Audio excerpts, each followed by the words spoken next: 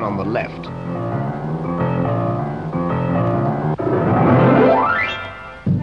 Well, that was hardly a typical incident of my visit to Pakistan.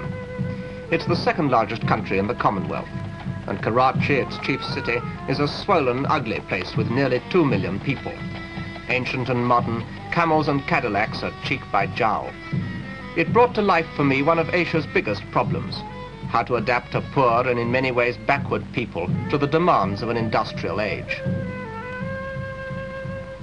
The people still cherish the ancient traditions of the East. The gardens where I found this cobra were built by the British Raj. British rule has come and gone, but snake charming goes on the same. So does the use of camels for irrigation in a land where water is scarce. The camel is blindfolded lest it go on strike if it saw just how little progress it was making. And a few yards from the camel, a giant dam provided a strange contrast in methods of irrigation.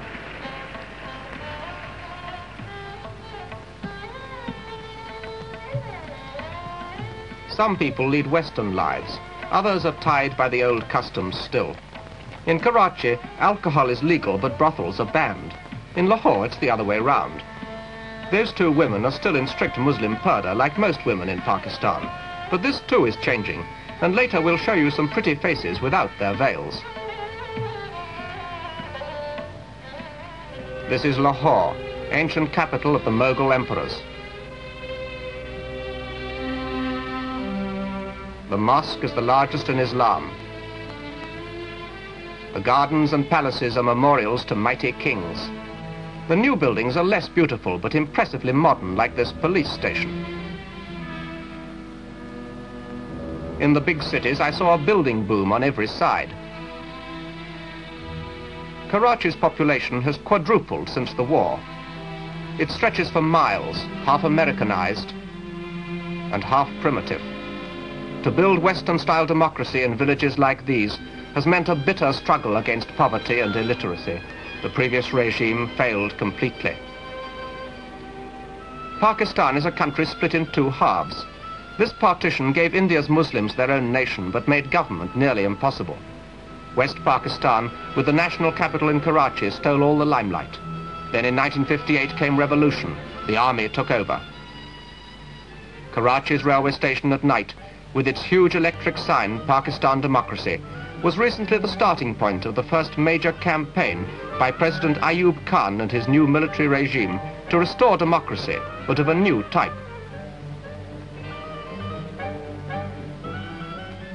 President Ayub toured the country by special train, explaining his plans to the people and to the journalists and writers, Pakistan and foreign, who went with him.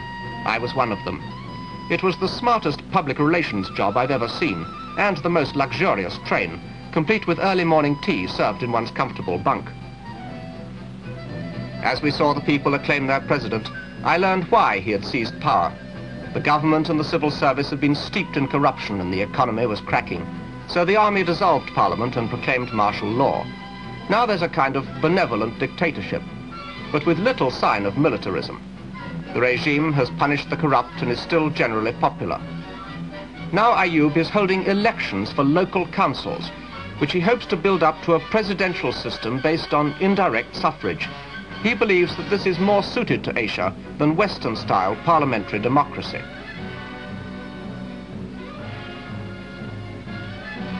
On the train, I asked him why he and the former president, Mirza, had suspended the regime. Um, our people were frustrated.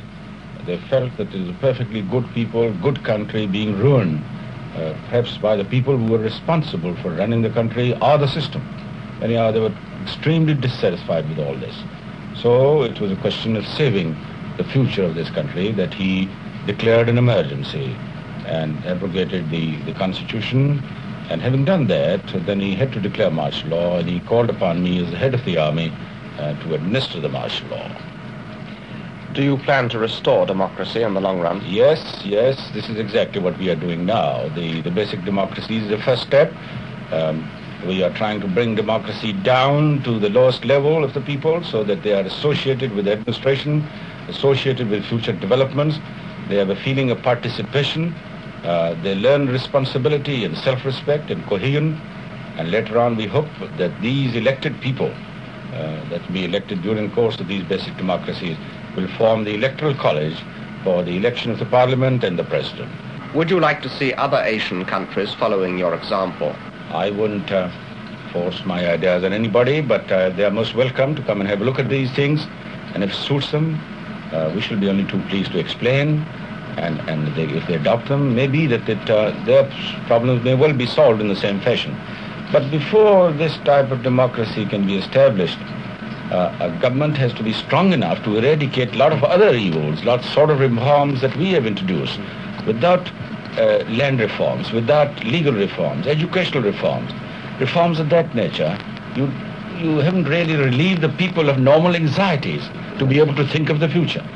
How long will it take before martial law ends and democracy is fully at work again? Yes, well, my, my own uh, timetable is that if everything goes all right, by the end of 1960, we should have uh, democracy installed in full. And as soon as uh, our, uh, the, the, legislature or the parliament meets, uh, that be the time to withdraw martial law. If anyone called you a military dictator, how would you answer? Well, I'll say he's talking bloody rubbish, that's all. he doesn't know what he's talking about.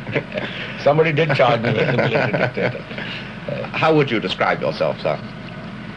Well, I describe myself as a, as a citizen of Pakistan who feels for this country, uh, also knows the problem of this country, and the problems of this country are that we got to advance under a democratic setup, um, which we can understand and work. And uh, that is the dictate of the history of the past. That's lesson of the history that only those people who have a certain measure of freedom and equality can progress. I'm sure of that, and I think uh, uh, I'm devoted to that cause.